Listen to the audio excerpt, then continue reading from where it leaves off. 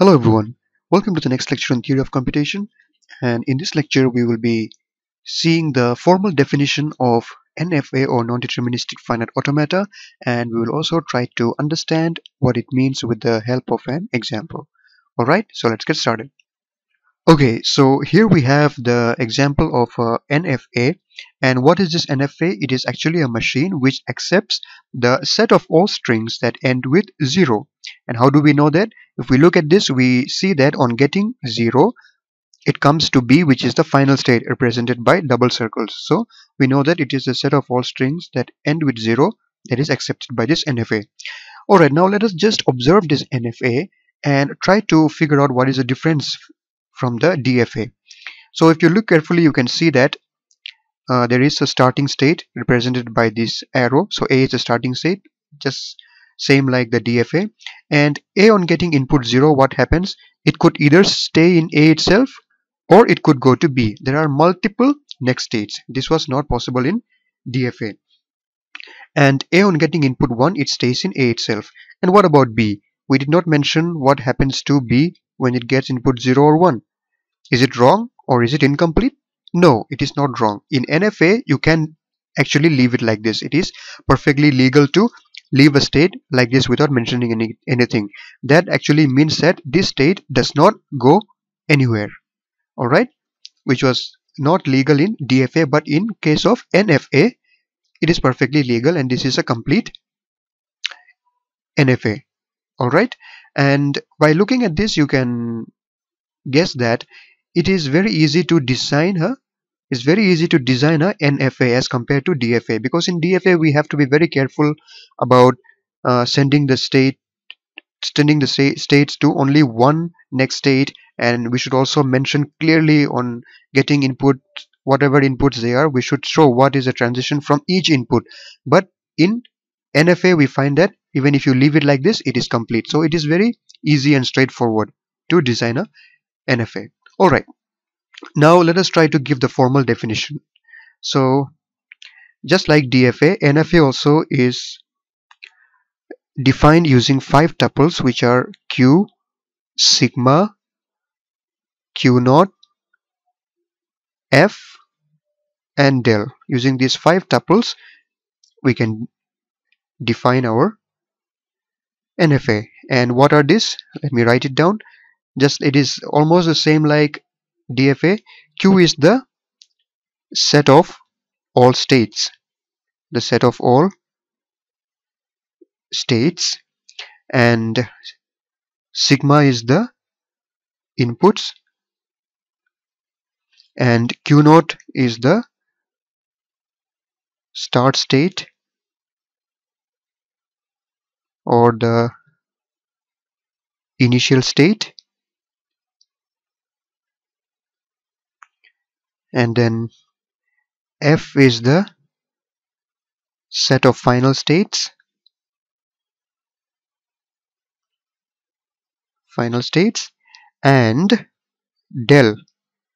So we saw that this q sigma q naught and f it is same like the dfa that we have already studied. And what about del? Del is a transition function that maps q cross sigma to what we'll try to find out what this is. I'll leave it blank here. We'll try to find out what does this transition function del map. Alright that is what we are going to find out. Okay. So q sigma q naught and f are the same like dfa so i hope i don't need to explain it again. So let us just try to write down the values for this for this particular example. So in this particular example what is q? Q is a set of all states. So what are the set of all states here the only states we have are state A and state B. So it is A and B. Alright. And sigma is the inputs. So what are the inputs we have? The inputs we have are zeros and ones. The, the inputs are 0 and 1. And Q naught is the start state or the initial state. And how do we know which is the start state? The state that is pointed by this arrow coming from nowhere shows that this is the start state. So the start state is a which is also known as the initial state and what is F? F is the set of final states so here we have only one final state that is B represented by the double circle Now, what is del? How do we find out what is del? This is what we are going to find out. Okay, so when we try to find this out, let us try to do some exercise. Let us see. Let us check for state A. State A on getting input 0, where does it go? It goes to state A itself and state A on getting input 0 it also goes to state B alright and let us see when state A gets input 1 what happens? When state A gets input 1 it goes to state A itself right and yeah that's it for state A. And what about state B? State B on getting input 0 where does it go? It does not go anywhere. So we represent it with phi. Alright and what about state B on getting input 1 where does it go? It again goes nowhere. So it is again represented by phi. So we see that given a state when it gets a particular input it can either go to one state or more than one states. So we see that a on getting input 0 it went to two states a and b. And a on getting input 1 it went to just one state. So there are many possibilities. Let us try to figure out how many possibilities are there. Suppose for this example a and b a and b are there and let's see what are the possibilities that we can get. So let's talk for one state a a on getting a certain input let's say 0 or 1 whatever it may be on getting a certain input it can either go to a right or it can go to b right or it can go to both a and b like here it, it went to both a and b right? So it can either go to a it can either go to b or it can go to both a and b or it can also go nowhere just like we saw that b was going nowhere. So this a on getting a certain input it has these four possibilities. It could either go to a b a b or phi right? So there are four possibilities. Now let's take another example. Let's say let's say that we have three states. Suppose we have three states. All right we have three states which are a b and c. Now in this in this example suppose in state a we get a particular input. So what are the possibilities to which a can go? A can either go to a itself it can go to b or it can go to c or it can go to a and b right?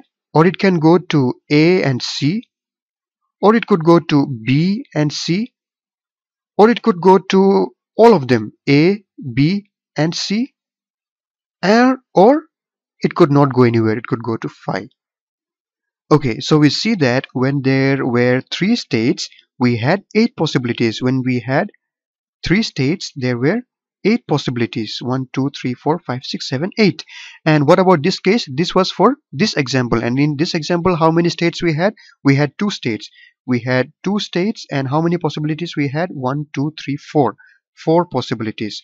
So seeing this pattern can we figure out a formula for this? We see that when there are two states it has four possibilities and when there are three states there are eight possibilities. So we can say that it is 2 raised to power 2 this is 4 2 raised to power 3 this is 8 so we can say that this transition function it maps q cross sigma to can you guess it?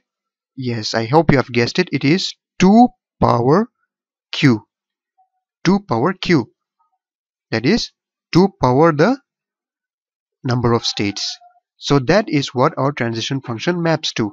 In case of DFA it was q cross sigma to q because every state it leads to only one next state. But in this every state can lead to multiple next states and it has 2 power q possibilities to choose from where it can go on getting a particular input alright so that was the formal definitions that we could give to our NFA. It is defined using five tuples Q, sigma, Q naught, F and del where Q sigma, Q naught and F the same as DFA and the only different thing is the transition function del which maps Q cross sigma to 2 power Q. So I hope this made the formal definition of NFA clear to us. So in the next lecture we will be explaining about this particular example in a more detailed way which will make it more clear to us. So thank you for watching and see you in the next one.